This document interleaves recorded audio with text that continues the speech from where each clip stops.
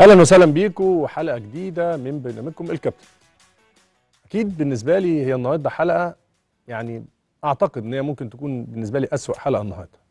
يوم حزين على كرة القدم المصرية خروج المنتخب من آه، ساحل العاج أو كوت ديفوار طبعا بطولة كوت ديفوار. ولكن خلينا نقول إن طول ما إحنا بنتفرج على 120 دقيقة إحنا حاسين إن إحنا ممكن نخرج في أي وقت.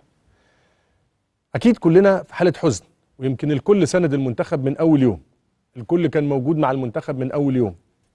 حاجات كتير غلط حصلت وحاجات كتير كلنا قلنا نتغاضى عنها لحد بس الدنيا ما تعدي والمركب تعدي إنما كل ده مش مهم ومش هنروح إن إحنا ننتقد ونقطع ونبهدل والكلام ده لأن ده مش طبعنا وده مش أسلوبنا. ولكن نستحق الخروج؟ آه نستحق الخروج.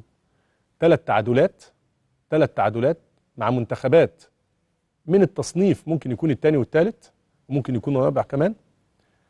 تعادل النهارده كمان نفس الحكاية وصلنا لضربات الجزاء. أكيد مش كل بطولة هنعدي بضربات الجزاء. مسألة صعبة جدا مسألة صعبة جدا. لازم يكون عندنا حلول. الحلول ضعيفة جدا موجودة.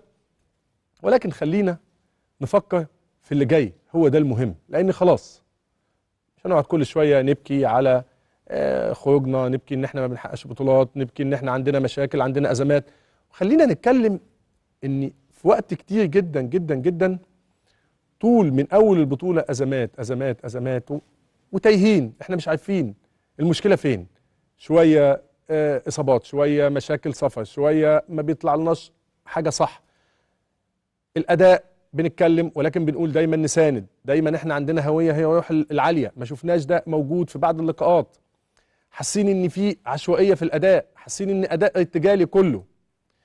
يعني طبعا أكيد زي ما قلت هو يوم حزين. يوم حزين لأن إحنا كنا نفسنا إن لاعبتنا يفرحوا الشعب المصري. وأعتقد إن يستاهلوا. لأن الناس كلها بتدعي الناس كلها يمكن إحنا قاعدين دلوقتي قبل ما نطلع على طول كل الناس قاعدين ورا الكاميرات كلهم بيدعوا كلهم بيدعوا. مش عشان حاجة هم مش مستفيدين حاجة بس عايزين نفرحوا. كان نفسنا طبعا إن إحنا نفرح الشعب المصري كله بالكامل ولكن ده متوقع من نتيجة الأداء وعدم النظام اللي إحنا شايفينه. كلنا كنا أمال وطموح ونقول إن شاء الله تمشي تمشي تمشي ولكن أكيد مش هتمشي كل مش هتمشي طول الوقت. بالزق مش هتمشي بالصدفة مش هتمشي بالعشوائية أكيد مش تمشي بالشكل ده.